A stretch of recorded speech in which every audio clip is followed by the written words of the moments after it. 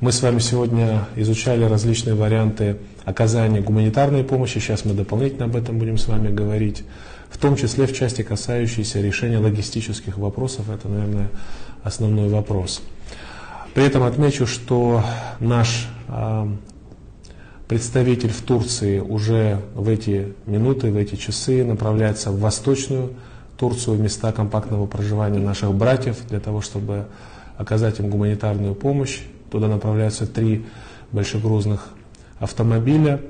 Посол Хутаба в ближайшее время прибудет в Абхазию для того, чтобы мы обсудили все эти вопросы. Еще раз хочу обратить внимание, мы сейчас общались с сирийскими коллегами, ситуация еще раз подтверждает политику двойных стандартов со стороны Запада. Землетрясение произошло в Турции и в Сирии, а для Запада оно произошло только лишь в Турции.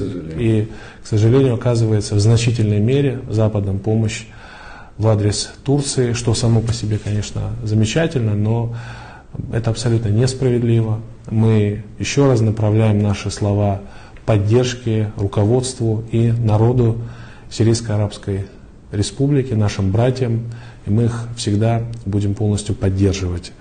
Землетрясение и его гуманитарные последствия – это то, что, безусловно, должно быть вне всякой политики. Мы готовы сегодня э, отдельной группировки выехать на месте, э, количество там, 50 человек, энное количество техники, оборудования. Мы имеем определенный опыт, готовы помочь, поддержать, стать рядом в эти трудные минуты. Ну, будем смотреть. Сейчас Э, наши представители э, Сирийской Народной Республики и представители турецкой диаспоры.